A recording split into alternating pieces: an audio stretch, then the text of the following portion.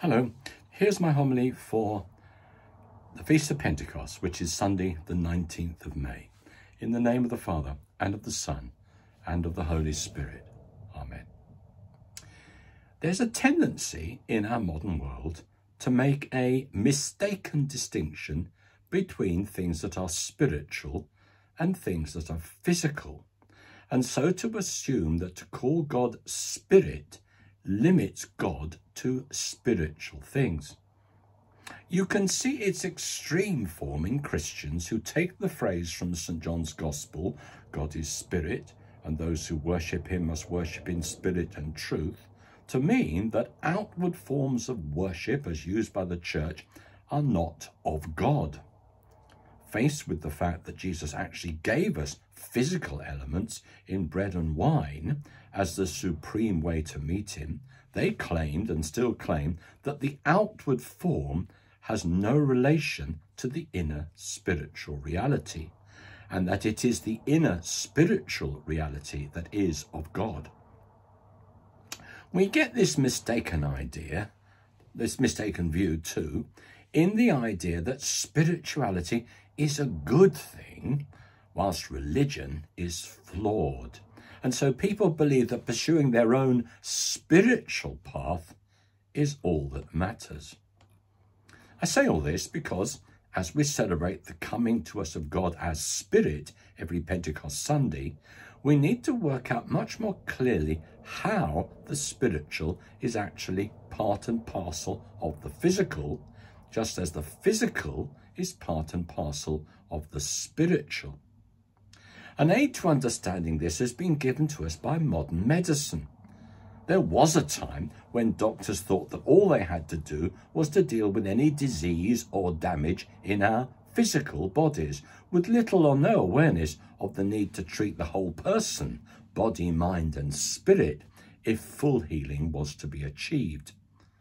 There was some talk of the place of what was called the bedside manner in helping people get better, but it was regarded as of little importance provided the correct physical treatment, the best medicine, could be administered.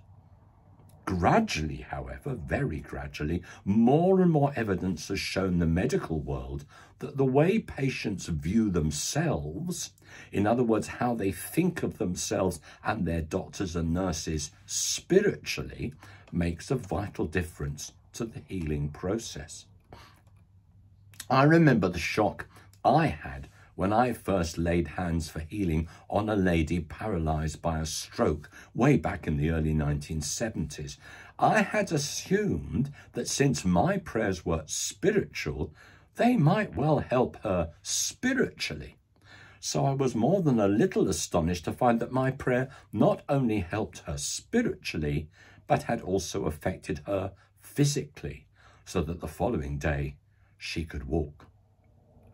St. Paul, in our second reading, his letter to the Galatians, makes it quite clear that how we behave physically for good or ill depends on whether we allow God as Spirit to work in us.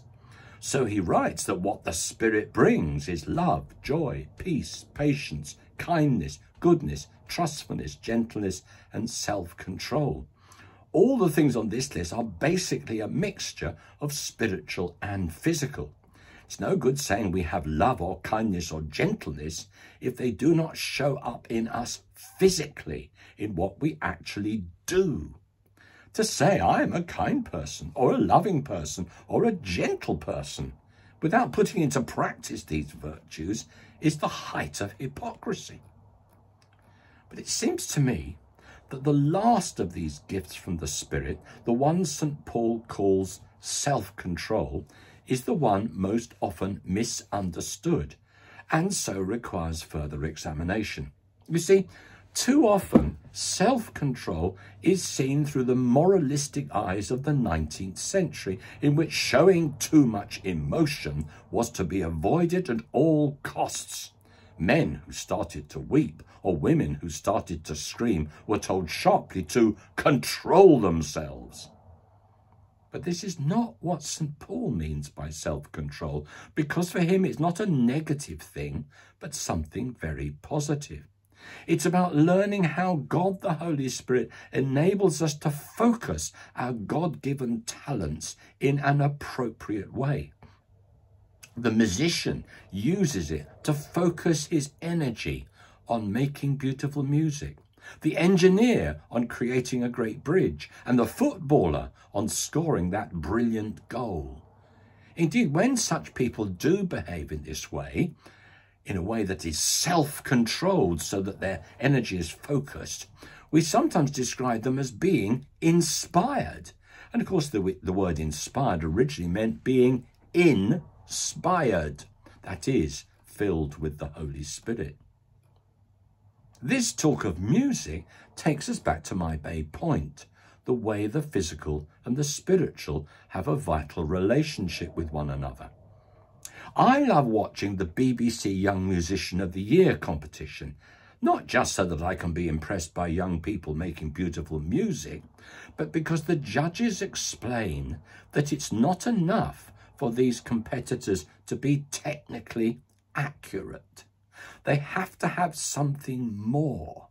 And they explain this something more by talking about the young musician's relationship to the music. They say they are looking for those people where somehow they and the music they perform become one. The judges are looking, I would argue, for those who express the music spiritually, who live in the music they are performing rather than just producing it physically. Music is such a good example here because when it is played beautifully, it affects us spiritually. It's why I often use the well-known phrase that to sing is to pray twice. The focusing of the spiritual through the physical is at the heart of all the sacraments, as Catholics know only too well. But of course, non-Catholic Christians are wary of this talk of sacraments, of these outward signs. When they do so, I always point them to the outward sign they are most likely to use themselves, the one where they lay hands on someone to pray for healing. They will usually agree that the physical touch enhances the power of the healing prayer. In other words, God works spiritually through things that are physical.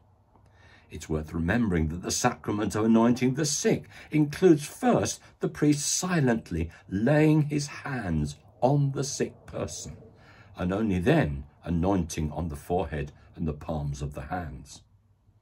Looked at this way, it is not so surprising that when the Holy Spirit comes upon the disciples in the upper room, as we heard in our first reading, they do not just receive spiritual support, but feel this support physically with sound and fire, and thereafter are changed from huddling in fear to going out into the world to proclaim the faith, and if necessary, to die in the process. So may God Almighty bless you, the Father, the Son, and the Holy Spirit. Amen.